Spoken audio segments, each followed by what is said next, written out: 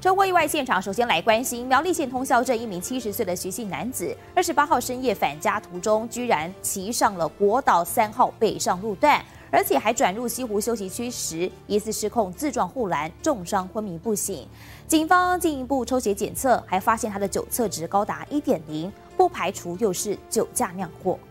遭防救护人员赶抵国道事故地点，一辆机车横倒在通往西湖休息区的匝道上，一名男子则是倒卧在路中央，已经昏迷不醒，经送医急救，伤势严重，转送台中医院急救。